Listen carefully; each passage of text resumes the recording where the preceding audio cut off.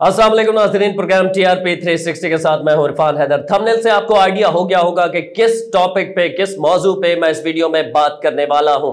Pakistani main stream media ने मुँह पे हाथ रख लिया है, आँखें बंद कर ली हैं और इस हवाले से खबर नहीं दे रहा। लेकिन मैं आपको खबर दे रहा हूँ सलमा खान, पाकिस्तानी रेसर के हवाले से, जिन्होंने कल तेज रफ्तारी के बायस दो कीमती जाने ले ली हैं। लेकिन मीडिया चुप है, खामोश है, किसका प्रेशर है? और वो सलमा खान, वो सलमा खान जो आए दिन टीवी मॉर्निंग शोज़ में आपको समा टीवी हो एक्सप्रेस टीवी हो, हम न्यूज़ हो, नज़र आती हैं। टीवी चैनल्स उनका नाम क्यों नहीं ले रहे और ये वाक्य कब, कैसे इस्लामाबाद विफाकी दारकूमत के अंदर पेश आया है? इसे क्यों छुपाया जा रहा है? इस हवाले से तफसील से बात करेंगे। Dust is my makeup and petrol is my perfume ये जुमला है सलमा खान का, वो रेसर जो कि आठ मुख्तलि मुकाबलों में ऑफ़ रोड रेसिंग करती हैं। फोर डब्ल्यू डी जिसे कहते हैं, फोर व्हील ड्राइव गाड़ियाँ चलाती हैं, हैवी गाड़ियाँ रखने का शौक है वजीरस्तान से इनका ताल्लुक बताया जाता है। बहुत पैसे वाली और रईस ख़ानदान से इनका ताल्लुक है। इनके मुख्तलिफ़ इंटरव्यूज़ देखे, जब ये वाक़ पेश आया तो मैंने तो रिसर्च कर रहा था तो मुझे पता चला कि टुंड्रा, रीबो, रैम ये वो गाड़ियाँ रखती हैं जिनकी ता कम अज कम कीमत भी पाकिस्तान में डेढ़ करोड़ रुपए से ऊपर है। यानी टुंड्रा की अगर हम बात करें तो वो करोड़ों रुपए का एक ट्रक है जो 5.7 हंड्रेड सीसी है। इतनी हैवी गाड़ियाँ रखना इनका शौक है और रेस करना इनका शौक है। लेकिन ये कल ये भूल गई कि ऑफ़ रोड रेस के लिए ये मुकाबले करती हैं, मुकाबले जीतती हैं, झलमगसी रेस हो चोलिस्तान रेस हो, उसमें इन्होंने हिस्सा लिया है चोलिस्तान की रेस। एक दफ़ा ये विन कर चुकी हैं झलमगसी की रेस, एक दफ़ा पहली पोजीशन ले चुकी हैं। इनके बकौल कि ये दस मुख्तलि मुकाबलों में हिस्सा ले चुकी हैं, जिसमें मुख्तलि पोजीशन इनकी आई है और दो मुकाबलों में ये अव्वल भी आ चुकी हैं। इनके हवाले से थोड़ा सा मैं आपको बता देता हूँ, फिर मैं एक एफ़ आई आर की तरफ़ आऊँगा और उसमें पुलिस किस तरह इनकी मददगार बन गई है। और मीडिया तो मददगार बना हुआ है, उसकी भी तफसीला से आपको आगाह करूँगा। ये बहुत मशहूर रेसर है और इंटरनेशनली इन्हें फेम हासिल है। लेकिन चाहे कोई कितना ही उसे फेम हासिल हो जब वो आ, किसी की जान ले ले चाहे वो गफलत से ही ले तो ज़ाहिर है कानून उसके खिलाफ हरकत में आता है। लेकिन सलमा खान के खिलाफ कानून हरकत में क्यों नहीं आ रहा? क्योंकि ये पाकिस्तान की तारीख है कि जब एक आम आदमी एक गरीब आदमी भेंट चढ़ता है किसी की गफलत का तो उस मामले को दबाने की कोशिश की जाती है। उनके लवाहकिन को पैसे दे के मामला रफा दफ़ा करने की कोशिश की जाती है। बिल्कुल कुछ इसी तरह हुआ है। मैं आपको बता देता हूँ कि जी तीन जाती गाड़ियाँ भी मैं भी इनका इंटरव्यू सुन रहा था। आ, उनके बकौल आ, जिस मुल्क में लोग आटा और रोटी खाने को तरस रहे हैं बहरल तकसीम देखे हमारे मुल्क में ये एक अलहदा बहस है मैं इस पर भी कभी बात करूँगा। वो कहती हैं टुंड्रा रीवो और मर्सडीज जो पाकिस्तान में वाहिद है मेरे पास है। वो गाड़ियाँ हैं मेरे पास और जब उनसे हम न्यूज़ के मॉर्निंग शो में कहा गया कभी एक्सीडेंट हुआ तो कहती नहीं, मैं इतनी माहिर ड्राइवर हूँ कि मैं एक्सीडेंट वगैरह नहीं करती और मुझे बड़ा अबूर हासिल है, मेरी बड़ी प्रैक्टिस है, मैंने घंटों ऑफ़ रोड प्रैक्टिस की है। लेकिन आपने ऑफ़ रोड प्रैक्टिस की थी, जब आप शहर के अंदर चलते हैं तो ओवर स्पीड नहीं करते। आप ये नहीं भूल जाते कि बाइक पे जाने वाला, छोटी गाड़ी पे जाने वाला, या एक आम साइकिल वाला, या राहगीर जो रोड क्रॉस कर रहा होता है, वो भी इंसान है, इसी मुल्क का शहरी है। आप उसे रोंद कर कुचल कर नहीं चल सकते। इससे पहले कि मैं वीडियो आ, की तफसील में मजीद जाऊँ आप वो वीडियो देख लीजिए। कल ये विफाकी दारकूमत इस्लामाबाद में आ, ये वाक़ पेश आया है और आ, इस वाक़े में दो भाई दो सके भाई जो कि जवान हैं। एक की उम्र इकतीस साल जबकि एक अट्ठारह साल लड़का है जिसकी जान चली गई है। और इस वक्त पिम्स अस्पताल में जो छोटा है, वो मौत और ज़िंदगी की कश्मकश में है। 18 साल उसकी उम्र है, आईसीयू के अंदर है।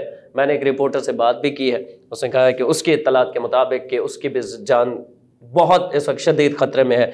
अल्लाह करे कि वो बच जाए। हमारी तो ये दुआ है। और जो बड़ा भाई था, जो ड्राइव कर रहा था बाइक चला रहा था, इकतीस साल शहजाद अहमद, छोटे भाई का नाम हमजा है। शहजाद अहमद मौके पर दम तोड़ गया है। ये घर का वाहिद कफ़ील था, इसके वालिद एक आम मजदूर आदमी है और वो गरीब आदमी है और ये घर की किफ़ालत करता था। इसे रोन दिया गया। कल अपनी रेस के शौक में इस्लामाबाद का एरिया, ओपीएफ कॉलेज एक ऐसा एरिया है जो कि रिहायशी इलाका है जहाँ पर ज़ाहिर है ओवर स्पीड होगी। तो मैं आपको वीडियो दिखा देता हूँ कि एक रैम गाड़ी जो कि दो करोड़ रुपए से ऊपर की गाड़ी, इंपोर्टेड गाड़ी है, four wheel drive, luxury truck है। उसका हशर क्या हुआ हुआ है? तो फिर उन खातून चलाने वाली ने एफआईआर में क्या डंडी मारी गई? उस तरफ़ मैं आऊँगा, वो भी आपको बताऊँगा कि हमारे यहाँ होता क्या है जब कोई ताकतवर क्राइम करता है। ताकतवर जब वो मोहसिन नकवी साहब डेरा गाजी खान से ताल्लुक़ रखते थे, अल्लाह उन्हें गरी रहमत करे। मशहूर शायर है, उर्दू में तो शायरी है ही। उनकी सराय की ज़बान में भी उनका एक शेर मुझे याद आ रहा है कि उन्होंने कहा था कि मोहसिन या ख़बर भी सुने हाँ मेरा खुदा। एक लखपति लताड़ गया साइकिल सवार को। तो जब लाखपति, करोड़पति लोग जब एक साइकिल सवार को कुचल देते हैं तो उनका कोई पुरसानी हाल नहीं होता। वीडियो देख लें आप कि कल मोहतरमा सलमा खान साहिबा गाड़ी किस स्पीड में चला रही होंगी कि एक इतने बड़े ट्रक का ये हशर हुआ है। वीडियो देखें।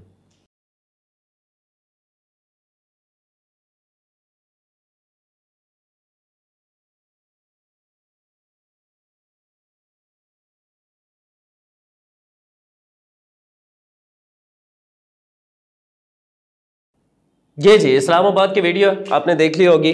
ओ पी एफ़ कॉलेज के अतराफ में नज्द उसके करीब ये वाक़ पेश आया और मोहतरमा, ये भूल गई थी कि ऑफ़ रोड रेस नहीं लगा रही, बल्कि शहर के अंदर चल रही हैं और शहर के अंदर आम लोग भी वहाँ से गुजर रहे होते हैं। अब मैं आपको तफसीलात बता देता हूँ। थाना शालीमार में जो एफ़ आई आर है, उसकी तफसीलात जब आप सुनेंगे तो किस तरह वो कराची में एक असलाह इस्तेमाल होती है, डंडी मारना। किस तरह जब ताकतवर को बचाना होता है तो डंडी मारी जाती है। सलमा खान की गाड़ी है ये ये प्रूव हो गया। जब गाड़ी उनकी है, एनी शाहिदीन के मुताबिक जो खबर आई है, और इसकी तस्दीक हुई है, इस्लामाबाद के कुछ क्राइम रिपोर्टर्स जो है, उन्होंने तस्दीक की है, सहाफ़ियों ने तस्दीक की है कि चलाने वाली खातून थी। यानी सलमा खान की गाड़ी है और चलाने वाली भी औरत है तो फिर नाम क्यों नहीं एफआईआर में दर्ज? एफआईआर में क्या दर्ज है? एफआईआर में दर्ज है कि इस्लामाबाद का इलाका ओपीएफ कॉलेज के पास यह वाक्य कल 9 से साढ़े नौ के दरमियान शब, यानी रात 9 और 9 से साढ़े नौ के दरमियान पेश आया है। और अभी तक मीडिया क्यों चुप है उसमें मैं बात करूँगा। दो बाइकर शदीद जख्मी हुए हैं। एक गाड़ी ने हिट किया है जो कि रैम, एक ट्रक था। इंपोर्टेड गाड़ी थी, जिसमें उन बाइकर्स में शहजाद अहमद जो है, वो अस्पताल पहुँचने से पहले दम तोड़ गया है, जिसकी उम्र 31 साल थी, ये दोनों भाई थे, और छोटा भाई 18 साल हमजा, जो इस वक्त पिम्स अस्पताल इस्लामाबाद में ज़िंदगी और मौत की कश्मकश में है। अल्लाह उसे सेहत दे, लेकिन जो मैं जैसा कि बता रहा था कि एक सहाफ़ी ने मुझे बताया कि मुश्किल मामला लगता है, हमारी दुआ है कि अल्लाह उसे सेहत याब कर दे क्योंकि एक बुज़ुर्ग बाप का एक बेटा ज़रूर उन्होंने खो दिया है, लेकिन ज़ाहिर है छोटा बेटा उनका सहारा बन सकता है। थाना शालीमार में, अब साथ ये एफ़ आई आर आप देख लें फुटेज में चल रही होगी एफ़ आई आर आप देख लें कि थाना शालीमार ने एफ़ आई आर काटी है। अब एफ़ आई आर काटने वालों ने कितना एहसान अजीम किया है। मुझ जैसा, आप जैसा, अल्लाह ना करे, अल्लाह न करे, हम इस हवास बाख्तगी में चले जाएँ कि हम सड़क के ऊपर ये भूल जाएँ कि बाइक वाले भी आम लोग होते हैं वो भी इंसान होते हैं पाकिस्तानी शहरी होते हैं और उन्हें हम एहतियात से गाड़ी चलाएँ ताकि ये ना हो। हादसा किसी से भी हो सकता है। मैं ये नहीं कह रहा कि जानबूझ के किया है, लेकिन वो रेसर है, ये जहन में रखिएगा। और उनके बकौल मुख्तलिफ़ इंटरव्यूज़ में कह चुके हैं कि इस्लामाबाद में रात के वक्त वो गाड़ी ड्राइव करना उन्हें पसंद है और बड़ी गाड़ी वो लेके जाती है तो इसका मतलब आप समझ रहे हैं वो आ, किस तरह स्पीड में गाड़ी चलाया करती होंगी। थाना शालीमार ने इब्तदाई एफ़ आई आर दर्ज कर ली है। उस एफ़ आई आर में सारा कुछ तो दर्ज है इतने बजे वाक्य पेश हुआ आया है बाइक का नंबर ये था गाड़ी का नंबर ये था लेकिन उसमें पता है क्या लिखा गया है? जो डंडी मैं कह रहा हूँ, डंडी मारी गई डंडी उसमें यह मारी गई है, लिखा गया है, सलमा खान नहीं। ड्राइव करने वाली सलमा खान नहीं थी, ज़ाहिर एक अरबपति खातून जो कि दुनिया भर में जानी जाती हैं। मरने वाले तो आम लोग थे ना। तो उसमें लिखा गया है कि एक रैम, फ्ला फ्ला नंबर की गाड़ी, एक ट्रक, डबल केबन जो कि इंपोर्टेड गाड़ी है ग्रीन उसका कलर है, वीडियो में आपने देख लिया होगा। उस गाड़ी ने दो मोटरसाइकिल सवारों को हिट किया है। एक मोटरसाइकिल सवार जो चला रहा था इकतीस साल शहजाद अहमद मौके पर दम तोड़ गया है। एक अट्ठारह साल उसका भाई बताया जाता है। उसके इन दोनों जख्मी होने वाले और इस जांबाक होने वाले शख्स के दोनों भाइयों के वालदेन ने आ, मुकदमा दर्ज कराया थाना शालीमार में और उसमें लिखा क्या है पुलिस ने? अब उस बुज़ुर्ग आदमी सादा लो आदमी को बेवकूफ़ बना दिया गया है, उसे, उसके सादगी से खेला गया है पुलिस ने। और पुलिस ने कहा है कि वो रैम गाड़ी नामालूम खातून चला रही थी। आई आर में दर्ज है एफ़ आई आर आप साथ देख रहे होंगे।